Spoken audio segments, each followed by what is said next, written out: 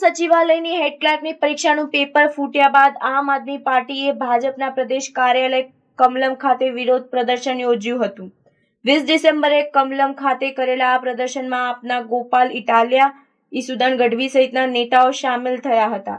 આ પ્રદર્શન દરમિયાન પોલીસ, ભાજપ અને આપના કાર્યકરો વચ્ચે ઘર્ષણ થયું હતું.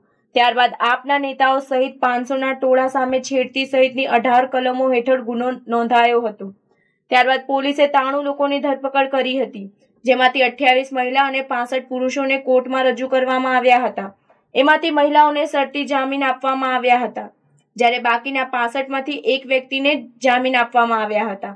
આ સિવાયના તમામ એટલે કે ચોસઠ લોકો દસ દિવસથી જેલમાં બંધ છે જોકે જેલમાં બંધ આ નેતાઓને પરિવારજનો મળ્યા હતા, પણ પાર્ટીનો એક પણ નેતા મળ્યો નથી.